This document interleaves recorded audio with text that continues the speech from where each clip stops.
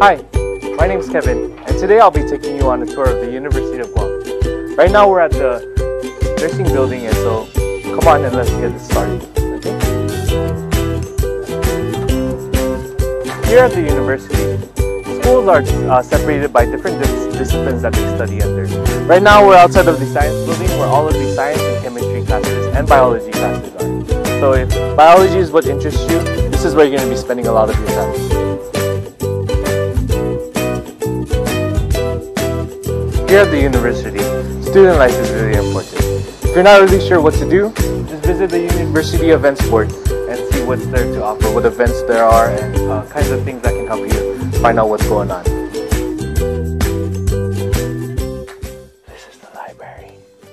It's a very quiet place where you can study and research for your papers.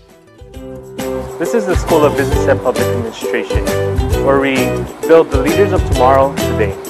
As you can see, it's holiday season, and we're getting pretty festive here at the SBPA.